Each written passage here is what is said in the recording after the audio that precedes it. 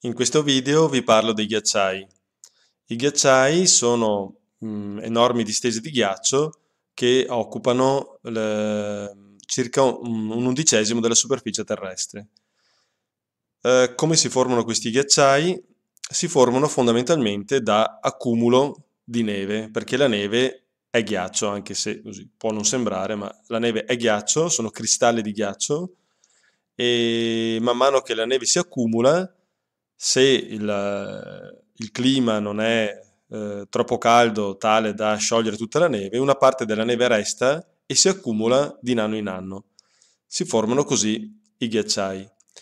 Quindi inizialmente eh, la, la, diciamo, il ghiacciaio non è altro che neve che si sta compattando, poi, eh, ecco, questo è un, diciamo una, una neve soffice dopo una nevicata formata da cristalli di ghiaccio. Poi, man mano che eh, si accumulano le nevicate, gli strati sovrastanti vanno a premere su quelli sottostanti e quindi eh, negli strati che stanno sotto l'aria comincia a essere espulsa a causa della pressione degli strati sovrastanti e quindi il ghiaccio tende a diventare col tempo via via sempre più compatto. Eh, il ghiaccio compatto, formato dai cristalli che si, stanno, che si, si sono un po' fusi tra di loro, eh, si chiama fern. E, e quindi eh, a un certo punto, se io scavo in profondità in un ghiacciaio, trovo eh, il ghiaccio che, mh, mm, che non ha più l'aria tipico della neve, è un ghiaccio compatto di colore più o meno azzurro perché ha il colore dell'acqua e, e in questi, questo ghiaccio si può, come in questa immagine, si può scorgere le, le, i vari strati di ghiaccio che derivano dai vari strati di nevicate, per cui eh, la stratificazione delle varie nevicate in qualche modo rimane nella memoria del ghiacciaio. E quindi alla fine eh, si forma insomma, il ghiaccio compatto tipico dei ghiacciai. Questo è il Perito Moreno in Argentina. Ehm... ecco, per chi si formi chiaramente in ghiacciaio ci vuole un clima adatto, quindi o un clima molto freddo o eh, al di sopra di una certa quota. Eh, questo perché eh, durante l'estate o durante la stagione calda comunque il clima non deve essere così caldo tale da fondere la neve che è caduta. E quindi eh, mm, esiste una quota che si chiama limite delle nevi perenni, eh, al di sopra della quale sappiamo che il clima non è così eh, caldo tale da sciogliere tutta la neve che, che, è venuta nella stagione, per cui al di sopra del limite delle nevi perenni si può formare un ghiacciaio. Eh, questo limite chiaramente dipende dal clima, dalla latitudine, Adesso prendo un grafico che non si trova nel Wikibooks, ma è, si trova eh, è preso dal Lupio Palmieri della Zanichelli. Allora, questo grafico mostra come varia il limite al variare della latitudine. Allora, 0 vuol dire che ci troviamo all'equatore, quindi all'equatore, se io controllo, vado nell'ordinata, vedo che questo limite è attorno ai 4-5 mila metri. Anzi diciamo, si può in generale notare che nella fascia intertropicale, cioè tra i due tropici, da 30 a 30, eh, siamo, il limite è attorno ai 4-5 ai 5.000 metri, quindi il limite della quota è molto alto, quindi i ghiacciai si formano solo nelle montagne più alte. Invece man mano che poi ci spostiamo nelle eh, latitudini più elevate, per esempio il nord Italia è a 45 gradi, per cui siamo all'incirca qui, infatti sono segnate le Alpi, eh, il limite è attorno, se vedete, ai 3000 metri scarsi, quindi nelle Alpi si formano solo pochi ghiacciai quote, nelle quote più elevate. E poi man mano che aumentiamo la latitudine, questo limite tende a zero, quindi verso i poli, nelle regioni polari, si vede sia latitudine nord sia latitudine sud, eh, il ghiacciaio può formarsi anche a quote molto basse, se non addirittura a livello del mare. Allora andiamo a vedere quali tipi di ghiacciai esistono nel pianeta. Eh, si classificano, si classificano a seconda un po' della forma, della dimensione, della, della loro struttura. Eh, ad esempio i ghiacciai che si trovano sopra distese più o meno pianeggianti si chiamano ghiacciai continentali. Anche polari vengono detti perché in genere si trovano a latitudini abbastanza elevate. Uh, I ghiacciai invece che si formano nelle montagne si chiamano ghiacciai montani. Poi ho messo anche la banchisa, anche se non è un vero e proprio ghiacciaio, eh, però è lo strato di ghiaccio che si forma per il congelamento dell'acqua marina nelle regioni polari in genere. Allora, ghiacciai continentali vengono anche chiamati inlandsis, eh, sono per esempio quelli che si formano sopra mm, la, l'Antartide, questa è l'Antartide, l'Antartide è ricoperto da un grande ghiacciaio, ci sono anche delle regioni un po' montuose, ma è prevalentemente pianeggiante. Ecco, un altro ghiacciaio continentale si trova sopra la Groenlandia, questa è la Groenlandia, e anche la Groenlandia è ricoperta per buona parte da un ghiacciaio, ed è un ghiacciaio di tipo continentale. Ecco, da questi ghiacciai continentali o comunque dai ghiacciai che arrivano fino al mare si possono staccare dei grossi pezzi di ghiaccio che poi galleggiano sull'acqua andando a formare i cosiddetti iceberg. Quindi gli iceberg si formano per, eh, derivano diciamo, dal, dal, distaccamento di ghiaccio che arriva dal continente, quindi non, non è un ghiaccio che deriva dalla, dalla banchisa, cioè dalla, dall'acqua di mare che solidifica. Questo è un iceberg, gli iceberg sono famosi perché nascondono la maggior parte della massa, circa i 7 ottavi a, di sotto della superficie dell'acqua, per cui sono particolarmente pericolosi per la navigazione perché possono danneggiare lo scafo delle, delle imbarcazioni. Uh, andiamo a vedere i ghiacciai montani. Sono i ghiacciai più famosi perché sono un po' più vicini a noi. Uh, alcuni si trovano anche sulla catena alpina, uh, molti, alcuni si trovano sulla catena himalayana o su altre montagne eh, per esempio, andiamo a vedere, ecco questo è un ghiacciaio che si trova nel Gran Paradiso, questo è il Gran Paradiso. Questo è un ghiacciaio molto famoso, eh, l'Ales, si trova in Svizzera, è il ghiacciaio più grande d'Europa. Qui si vede bene la struttura tipica di un ghiacciaio alpino, il bacino circoglaciale la lingua che scende giù. Qui siamo uh, nella catena himalayana, anche qui uh, questo è un ghiacciaio montano, uh, anche qui si vede una lunga lingua di ghiaccio e di detriti, di morene che scendono nel fondovalle. Questo è un piccolo ghiacciaio, l'unico ghiacciaio presente in Veneto, il ghiacciaio della Marmolada, eh, che si trova nel versante nord appunto del massiccio della Marmolada. È l'unico ghiacciaio dolomitico. E questo è ehm, una lingua glaciale che scende giù eh, da una montagna austriaca. Ecco, questo è un piccolo ghiacciaio che si trova nella sommità del Kilimangiaro, quindi è l'unico ghiacciaio che si trova in Africa Eh, questa foto invece mostra degli uomini sopra la banchisa. La banchisa è, è ghiaccio galleggiante, non molto spesso, eh, al massimo 3 metri, che si origina eh, per il congelamento dell'acqua marina, per cui non, eh, non, è un ghiacciaio, diciamo, si chiama banchisa. Quando la banchisa eh, si rompe, eh, come in questa foto, inizia a formarsi il cosiddetto pack Ecco qua si vede eh, in questa foto da satellite, qui a sinistra abbiamo la banchisa e poi sulla destra mostra eh, la banchisa tutta frammentata eh, che si chiama appunto PAC. Andiamo adesso a vedere la struttura di un tipico ghiacciaio alpino. Ecco, questa l'immagine ripropone il ghiacciaio Ales eh, in Svizzera. La struttura è caratterizzata da una zona dove si accumula la neve, si forma il ghiaccio, detto bacino collettore. La parola collettore indica appunto che raccoglie neve in questo caso. Si chiama anche circo glaciale perché spesso ha una forma un po' circolare. Chiaramente questo bacino collettore sarà, si troverà al di sopra del limite delle nevi perenni, altrimenti no, non si può formare il, il, ghiaccio compatto.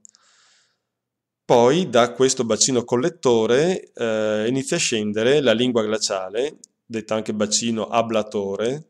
Il termine ablare vuol dire portare via, quindi una lingua glaciale che scende lungo il pendio.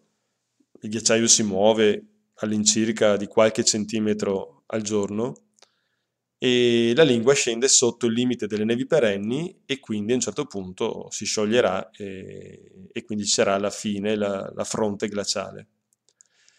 Lungo il percorso ci sono i crepacci che sono delle fessure profonde, parallele, molto pericolose per gli alpinisti e i seracchi che sono dei frammenti di varie forme quindi sono dei crepacci diciamo ulteriormente fessurati.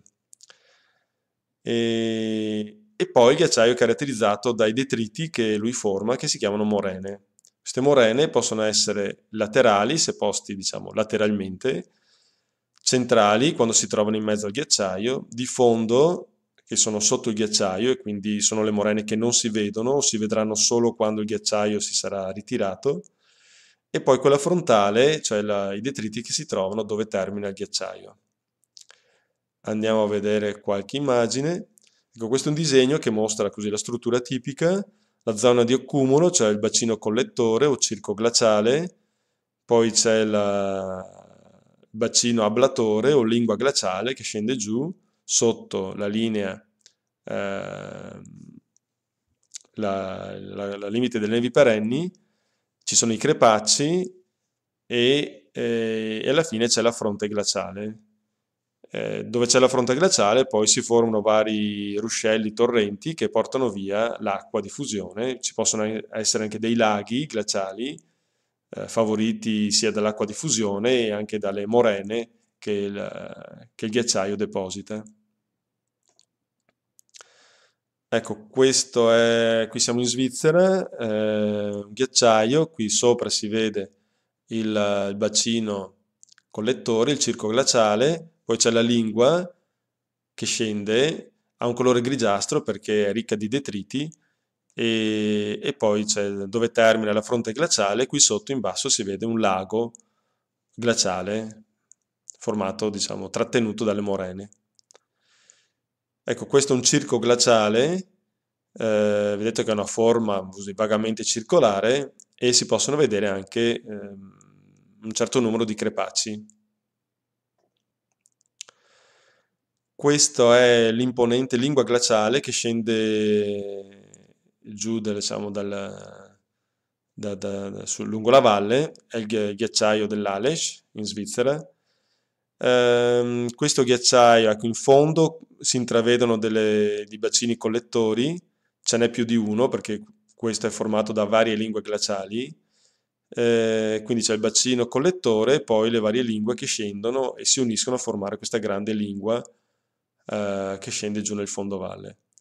Eh, si possono anche, in base a queste righe, a queste morene centrali, queste righe scure sono scie di detriti, e si formano perché eh, in alto c'è il punto di convergenza delle morene laterali, per cui in base al numero di fasce bianche posso anche capire quanti, quante lingue glaciali si sono unite tra di loro.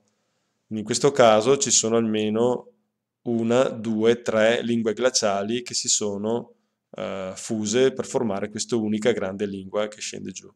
Se si guarda bene, proviamo a ingrandire un po', Ecco, si vede che il ghiacciaio è tutto eh, crepacciato, o meglio anche serraccato, cioè tutto fratturato, quindi qui sopra è abbastanza difficile camminare. Questo è un altro ghiacciaio, qui siamo, questo è il Gashembrum, nelle montagne himalayane. Qui i bacini, siccome le montagne sono parecchio alte, eh, i bacini collettori non hanno la tipica forma circolare, più che altro sono grandi lingue di ghiaccio che scendono da queste grandi vallate. E questa è la marmolada, anche qua si, no, si osservano molti crepacci. Allora, questo, ecco, questo è un crepaccio, eh, gli alpinisti devono stare molto attenti quando camminano sopra i ghiacciai perché possono finire in fondo a un crepaccio e per questo in genere si muovono in cordata. Questi sono dei seracchi, eh, cioè quando il ghiaccio è frantumato eh, con varie forme, eh, diciamo i seracchi sono quasi impossibili da attraversare. E questi sono i detriti morenici lasciati da una lingua glaciale che si è ritirata, per cui possiamo dire che qua si vede la morena di fondo, quella, morena, le morene che stavano sotto il ghiacciaio, e qui ai, ai piedi di questa montagna si vede la morena laterale, cioè quella che si trovava a fianco del ghiacciaio.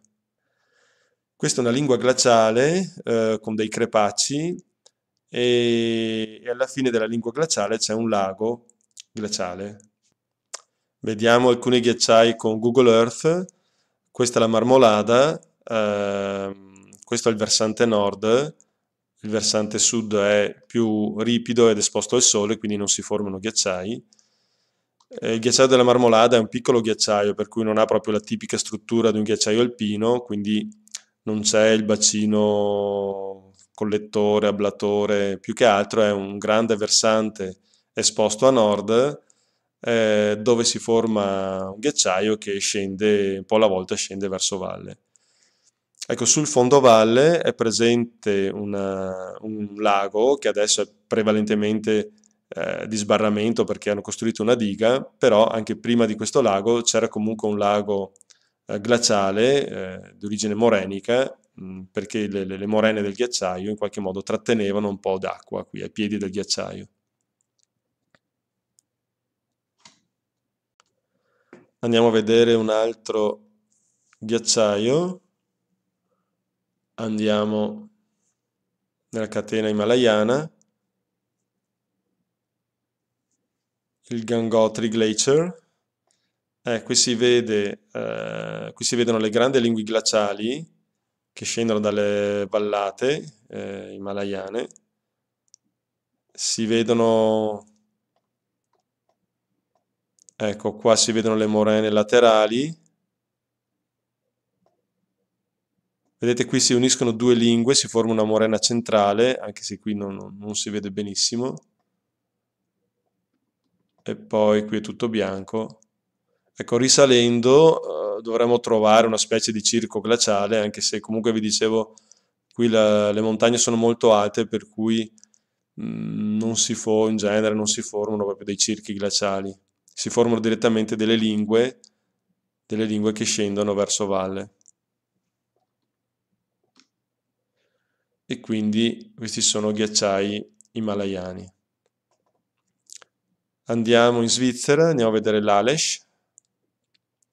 Ecco, questo è l'Alesh che abbiamo visto anche nelle foto.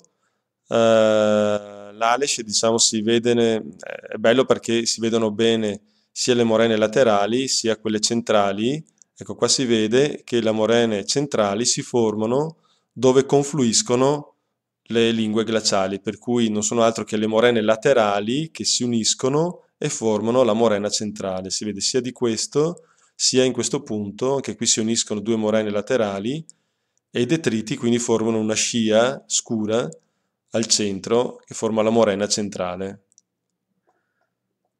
Ecco, qui nella parte alta invece si vede meglio diciamo la zona del circo glaciale sia in questo punto sia in questo punto che ogni lingua ha il suo circo anche qua nella parte alta c'è il circo glaciale il bacino collettore e poi da qua scendono giù le lingue. Eh, i crepacci sono tantissimi come si può vedere per cui è abbastanza diciamo, pericoloso da camminarci sopra. E questo è l'Alesh. Andiamo a dare un'occhiata al Kilimangiaro, quindi siamo in Africa, ecco il Kilimangiaro, anche qui il ghiacciaio, il Kilimangiaro è un vulcano quiescente, per cui potrebbe anche risvegliarsi, eh, un ghiacciaio molto piccolo, Kilimangiaro siamo circa 5.000 metri e eh, ecco si vede insomma che eh, il ghiacciaio è veramente modesto. E poi per finire andiamo in Antartide e abbiamo detto che invece qui abbiamo un ghiacciaio continentale, un inland un ghiacciaio, quei ghiacciai che si formano sopra le grandi distese pianeggianti, come qui, oppure come abbiamo visto prima in, Anta in, in Groenlandia, anche qui abbiamo l'inland ice. E da questi ghiacciai, eh, che arrivano a quote molto basse, arrivano anche al mare, eh, si staccano eh, gli iceberg.